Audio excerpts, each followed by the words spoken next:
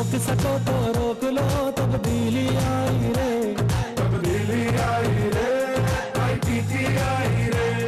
2018 के आम इंतबात की तैयारियाँ। नया बनेगा पाकिस्तान नया बनेगा पाकिस्तान। तहरीक इंसाफ ने रुकनीत साजी मुहिम शुरू कर दी। इमरान खान ने अवान इकबाल में खिताब करते हुए कहा कि हमारी पॉलिसियाँ गुर्बत के खात्मे पर मरकूज रहेंगी।